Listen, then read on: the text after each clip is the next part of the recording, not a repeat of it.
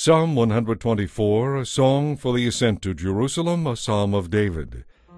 If the Lord had not been on our side, let Israel now say, if the Lord had not been on our side when people rose up against us, they would have swallowed us alive because of their burning anger against us. The waters would have engulfed us, a torrent would have overwhelmed us. Yes, the raging waters of their fury would have overwhelmed our very lives. Blessed be the Lord who did not let their teeth tear us apart. We escaped like a bird from a hunter's trap. The trap is broken and we are free. Our help is from the Lord who made the heavens and the earth.